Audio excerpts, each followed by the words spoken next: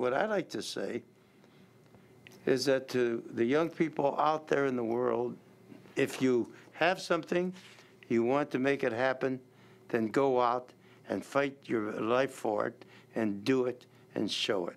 Don't talk about it, do it. This plant is capable of making nine miles in a single run. And this machine is longer than a football field. It's my favorite view of it because I believe as a machine builder anyway that it's, it's sculpture, it's beauty, it's art. Uh, I wouldn't mind having one of these in my living room actually.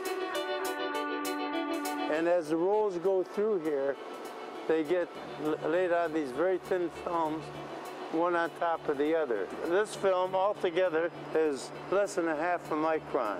Solar is back. Uh, Solar never went away. What was back was backward thinking, not not the solar was going away. Oh, thi- this is the end of a roll. The long, world's longest complete photovoltaic solar cell by orders and orders of magnitude. When you're changing the entire energy equation, you're building ancillary industries all over. Every one of these is a roof. I do. I'm not competing against anything else. I'm competing against fossil fuels. And then it's a trillion dollar a year market, not billions of dollars a year. It's one thing to agitate, and I believe in that, but it's a hell of a lot better to educate. And that's what we believe in. And you can't take it away from our own personal motivation, which is that's what we want to do.